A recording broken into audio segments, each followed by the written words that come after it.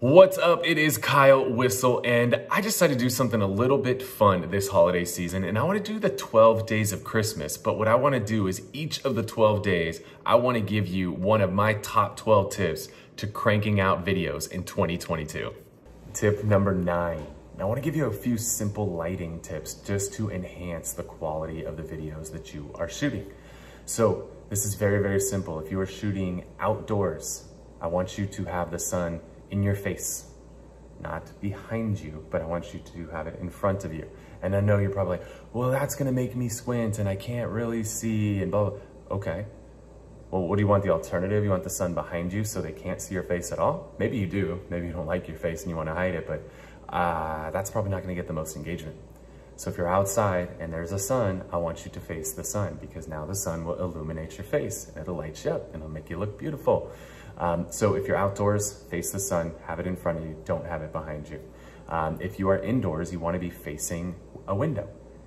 So if you can face a window, I got a window in front of me, I actually got one behind me, I got windows everywhere, but you wanna be facing out the window because that's typically where the natural light's gonna be coming from.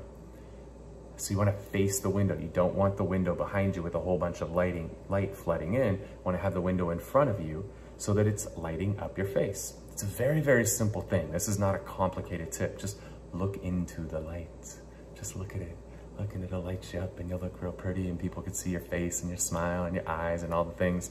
So next time you're shooting that video, you're trying to decide where should I stand or where should I face? Just face the light. It's that easy.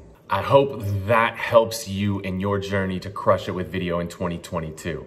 If you really want to go deep, if this whets your appetite, but you want more, you want the main course, you want it all, I would love for you to join me, my videographer, Bryan Koci, my partner, Dan Beer, and my boy, Jon Cheplak at his house in Las Vegas, January 8th, January 9th.